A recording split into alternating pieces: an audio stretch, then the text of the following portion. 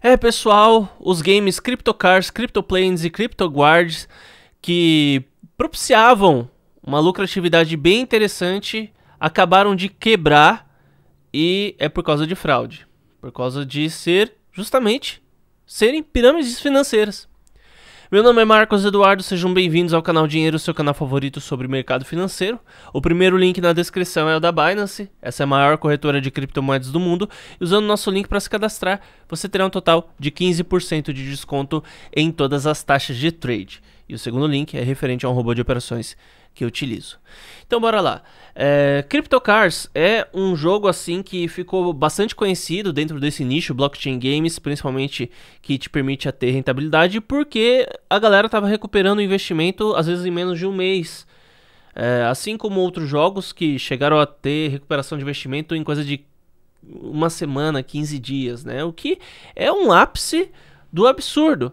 É plausível dentro do mercado das criptomoedas? Cara, não vou falar que é um negócio impossível, ah, tudo que traz um retorno assim é, é, é um golpe. Não é essa a questão, não é essa a questão.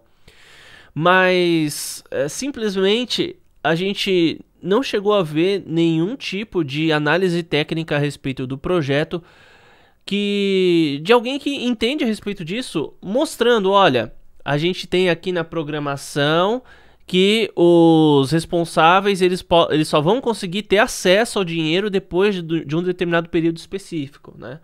Então tava na promessa, la garantia sou. Os, os, desenvolvedores e a galera do time, eles tinham que sacar o dinheiro bem depois. Eles já decidiram sacar agora. Correram, sacaram o dinheiro, tiraram as, eh, várias informações de lá do site CryptoCars, desativaram o Discord e sumiram do mundo, tá?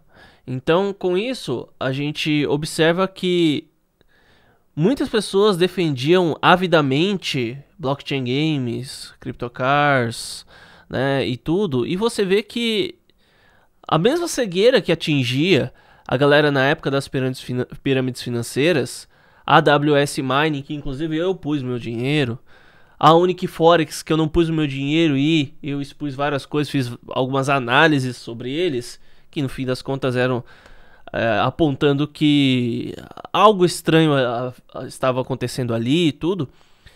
É, então, do mesmo jeito que a gente via pessoas que eram seguidoras ávidas daquilo, a gente vê também em relação a isso, né? É, eu, eu, eu tiro isso a partir do Bomb Crypto, tá? Eu pus, ó, essa daqui é a matéria do Cointelegraph, ó, criptomoedas dos jogos CryptoCars, CryptoPlanes e CryptoGuards caem 99%, desenvolvedores somem e os jogos são encerrados, tá? É, aqui, esse daqui é o Bomb Crypto, por exemplo, né? Eu coloquei minha grana aqui, né? Foi é, um pouquinho mais de um BNB de investimento que eu fiz para poder jogar, para poder participar. É... E sempre que tem alguma coisa muito legal, eu venho e faço vídeo, ó, tá muito legal tal coisa que eles fizeram. Sempre que atrasa alguma coisa, ou sempre que eu vejo algum defeito, eu venho e faço vídeo apontando o defeito. É, isso é o justo, isso é o correto a se fazer, tendo em vista que eu tenho uma certa responsabilidade, que talvez em alguns momentos possa não cumprir da melhor maneira possível, mas de verdade eu me esforço para trazer algo que seja sensato aqui para vocês. E toda vez que eu falo, olha gente, isso aqui no Bomb Crypto não tá legal, tá uma bosta, né? Por mim, não seria desse jeito. Daí a gente vê uma chuva de comentário, a galera, ah, não, você não sabe o que você tá falando. É, você tá querendo só ganhar visualização, você tá querendo ganhar só acesso, você tá querendo crescer em cima do jogo, você tá querendo. E fala um monte de tipo de coisa. E, e, é tudo aquilo que eu já ouvi da época da Unique Forex. É tudo que eu já ouvi da época das pirâmides financeiras. E a gente vê de novo pessoas pegando o seu dinheiro e colocando tudo nisso daí, não sacando absolutamente nada.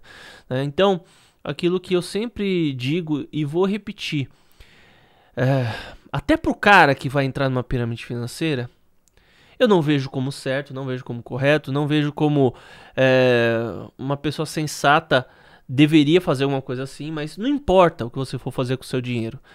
Mas a questão é, você sempre tem que fazer administrando os riscos. Então você vai pôr uma empresa doida, ó, surgiu uma empresa chamada Unique Forex aqui, tá pagando 4% ao dia, tá pagando 30% ao mês, tá pagando é, 10% ao mês. Ó, eu recupero o investimento aí em uma semana. Então, você tem que considerar que se você tem uma projeção de lucro muito forte, de ganho muito alto, por consequência, isso envolve um risco muito grande. Quanto maior a possibilidade de lucro, maior a possibilidade de perda. Uma coisa é proporcional à outra. E o que eu digo é: não coloque todo o seu dinheiro em algo que vai milagrosamente te trazer a sua grana. E eu não tô falando que eu previ que CryptoCars era uma pirâmide, não sei o que, não sei o que, não sei o que. Né? Não vou ser hipócrita aqui e falar, ah, eu sabia, eu sabia, eu não pus meu dinheiro lá. Porque eu já gastei praticamente um BNB com bomba cripto, e daí eu falei assim, não, velho, não vou, não vou pôr minha grana, é, não vou, meu dinheiro não é capim pra eu colocar tudo nesses jogos, né? Vamos ali, bomba cripto, bomba e cripto dando lucro, eu recuperando meu investimento, eu posso pensar em outro jogo, e a minha ideia era ir pro CryptoCars, né? Então, com isso a gente vê, cara, vai ter gente aí falando, ah, pus todo meu dinheiro nisso, vendi meu carro para fazer isso aqui, né? E, e o nosso.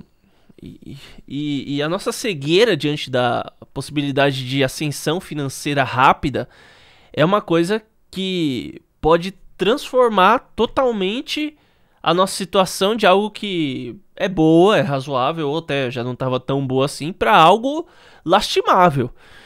Então, nunca coloque todo o seu dinheiro, mesmo que seja a melhor oportunidade do mundo. Você pode ganhar muito dinheiro, você pode até perder a oportunidade de ganhar muito dinheiro, mas não se faz isso. Pelo menos é o que eu penso. Então, muito obrigado aí por ter assistido e até mais.